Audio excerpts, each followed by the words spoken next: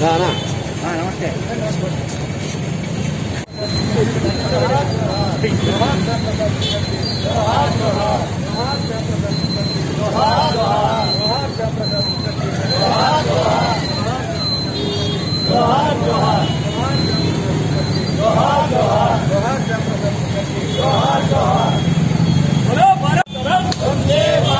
जोहार श्याम प्रसाद मुखर्जी। జోహార్ జోహార్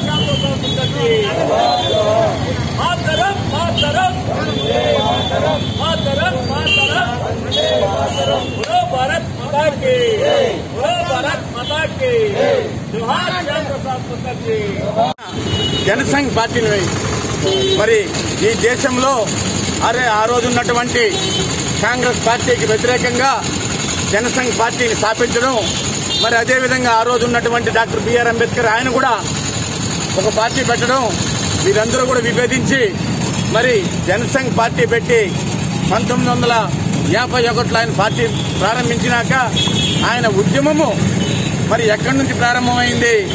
Jammu and Kashmir three seventy thirty five ఏకి వ్యతిరేకంగా ఆయన ఉద్యమాన్ని ప్రారంభిస్తే మరి ఆ రోజు ఉన్నటువంటి ఆ రోజు ప్రధానమంత్రి అయినటువంటి జవహర్ లాల్ నెహ్రూ గారు దేశంలో ఒక ప్రకటన చేయడం జరిగింది. జనసంఘ్ పార్టీ ఎక్కడ కూడా కనిపించకూడదు. జనసంఘ్ పార్టీకి సంబంధించినటువంటి నాయకులను అరెస్ట్ చేయాలి.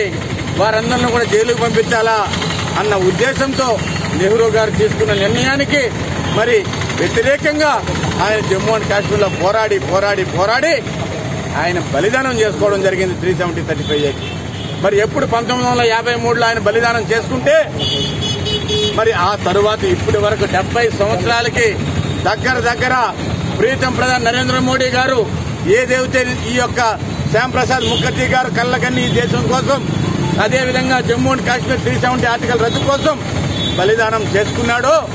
దానికి ఆలోచనతో ఆయన కూడా ఎన్నో ఉద్యమాలు చేయడం జరిగింది జమ్మూ అండ్ కాశ్మీర్లో నరేంద్ర మోడీ గారు. మరి ఆయన ఆశయాలు ఈ డెబ్బై సంవత్సరాలకి నెరవేరే విధంగా ఈ యొక్క త్రీ సెవెంటీ థర్టీ ఫైవ్ ఏని భారతదేశంలో మరి తలమానికంగా ఉన్నట్టు జమ్మూ కాశ్మీర్ని ఈ దేశంలో అన్ని హక్కులు అన్ని చట్టాలు ఒకే జెండా ఉండాలా భారతదేశంలో? ఒకే రాజ్యాంగం ఉండాలా? ఒకే పాలన ఉండాలా? ఒకే చట్టం ఉండాలా? అన్న ఉద్దేశంతో ఈ రోజు నరేంద్ర మోడీ గారు తీసుకొచ్చిందని ఆయన ఆత్మ శాంతి